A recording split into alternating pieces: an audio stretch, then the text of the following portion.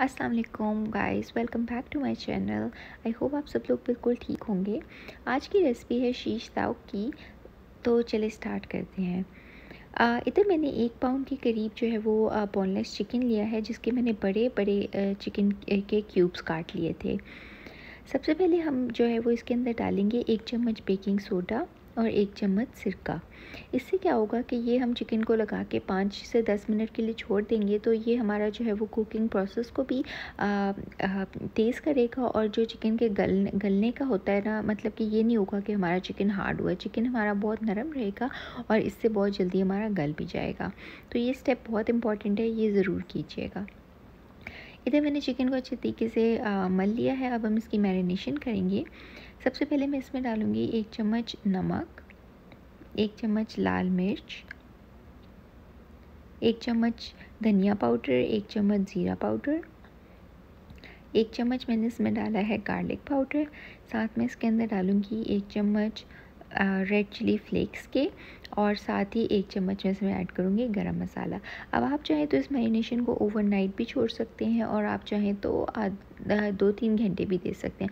Obviously अगर आप overnight इसको करेंगे तो वो ज़्यादा अच्छा रिज़ल्ट आएगा और हमारा चिकन जो है ना वो उतना ही जूसी होगा और बहुत ईजीली गल जाएगा। अब हमें इधर इधर मुझे कुछ वेजिटेबल्स मैंने ली हैं, जिसमें मैंने लिया है येलो कैप्सिकम और ग्रीन कैप्सिकम और एक टमेटो लिया है। अगर आप प्याज पसंद करते हैं तो आप प्याज भी ले सकते हैं। तो इस तरह से बस हमने क्या करना है कि हमने जो हमारी सब्ज़ियाँ हैं ना, उनको बड़े बड़े लाइक बड़े साइज़ के क्यूब्स में काट लेना है। बड़े साइज़ से ये होगा कि वो इजीली स्टिक पे लग भी जाएँगी और गिरने का भी डर नहीं होता। तो इधर बस मैं अच्छे तरीके, ये सारी जितनी मेरे पास वेजिटेबल्स हैं, उनको मैं काट लूँगी। और आप आप चाहें तो प्याज भी ले सकते हैं। उसका भी कलर इसमें काफ़ी अच्छा आता है। ये देखिए, हमारी वेजिटेबल्स रेडी हो गई हैं।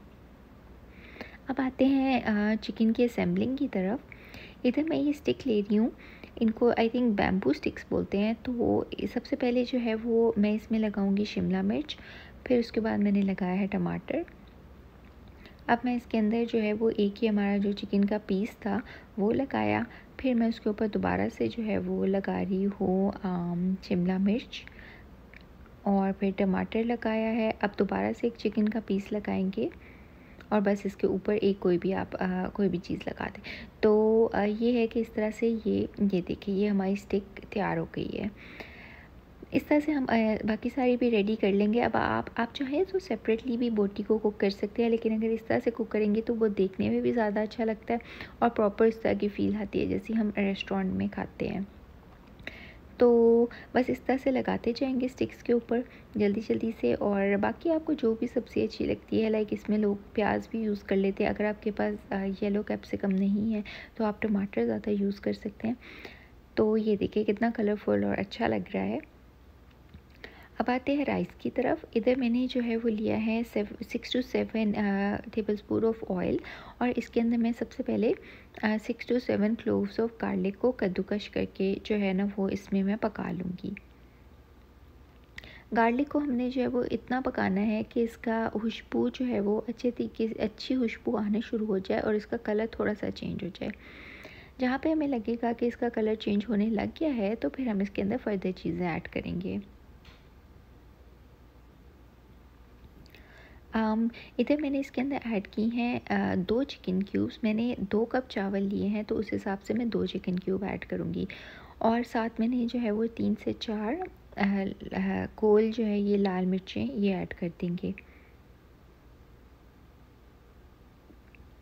अब इसमें मैं थोड़ा सा पानी ऐड करके इस सारे मसाले को पका लूँगी अच्छे तरीके से, ताकि हमारी हर चीज़ जो है ना वो नरम भी हो जाए और फिर चावल इसमें डालने के लिए रेडी हो जाए। ये दो टमाटर जो हमने उसमें लगाए थे ना स्टिक्स में, उसके बीज थे, ये भी मैंने इसमें ऐड कर लिए हैं। तो टमाटर से हमेशा चावलों में अच्छा टेस्ट आता है। तो इधर बस मैंने थोड़ा सा पानी ऐड किया है ताकि मसाला जो है वो जले नहीं। और इसके बाद मैं इसके अंदर दो कप जो मैंने चावल भिगोए हुए थे वो मैं इसके अंदर ऐड कर दूँगी। और बस हम उसको उसी तरह से पका लेंगे जैसे हम चावलों को पकाते हैं। जैसे ही पानी को बॉईल आएगा मैं इसके अंदर चावल ऐड करके चावलों को हम पका लेंगे। मैं इधर मैं बासमती राइस यूज़ कर रही हूँ, आप चाहें तो सेला भी यूज़ कर सकते हैं। अब चिकन को पकाने के लिए मैंने लिया है एक टेबल स्पून बटर और इसके अंदर मैं डालूँगी एक से दो टेबल स्पून ऑयल के। अब ये होता है बटर से हमेशा के चिकन जो है ना वो बहुत सॉफ्ट बनती है और ऑयल जो है वो चिकन बटर को कभी भी जलने नहीं देता। तो जहाँ पे भी आपने बटर यूज़ करना होता है साथ उसके थोड़ा सा ऑयल डालेंगे तो हमारा बटर जो है ना वो कभी भी नहीं जलेगा। अब ये जब अच्छे तरीके से मेल्ट हो गया है तो हम इसके अंदर अपनी स्टिक्स ऐड कर देंगे जो हमने बनाई थी।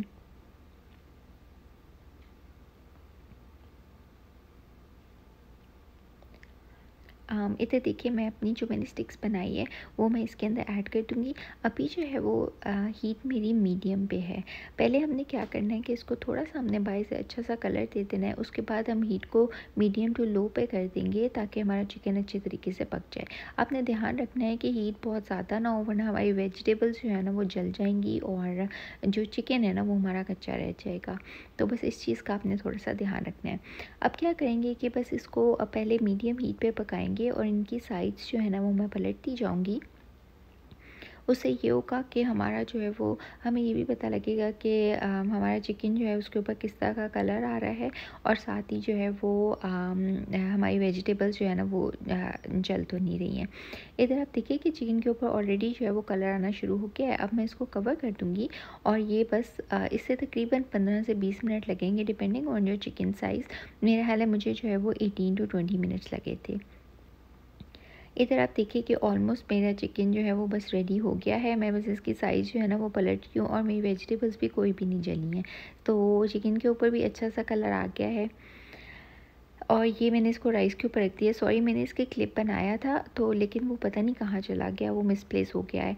तो बस यही तक थी आज की वीडियो बहुत सिंपल और बहुत इजी रेसिपी थी। अगर पसंद आई हो तो प्लीज़ लाइक शेयर सब्सक्राइब करें। तब तक के लिए टेक केयर अल्लाह हाफिज़।